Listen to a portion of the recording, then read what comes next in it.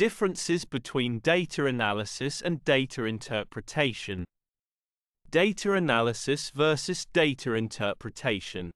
Data analysis is the process of uncovering patterns and trends in the data, whereas data interpretation is the process of assigning meaning to the data.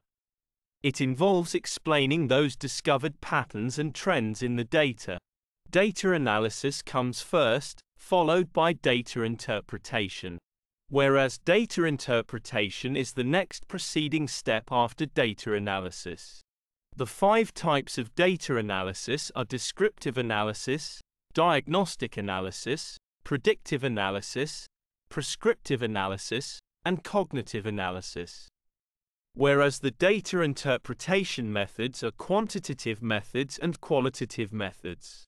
To summarize, condense data in a comprehensible and usable form for further advanced analytics and prediction in data analysis, whereas data interpretation is required because the numbers cannot speak for themselves. It needs manual human intervention to understand what the numbers are saying. An example of data analysis is top five teams in terms of the winning percentages are Real Madrid, Barcelona, Atletico Madrid, Valencia, and Athletic Bilbao.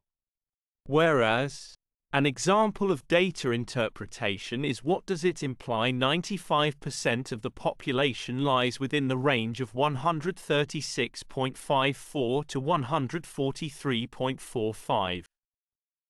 Kindly subscribe my YouTube channel Thesis Helper. Thanks for watching.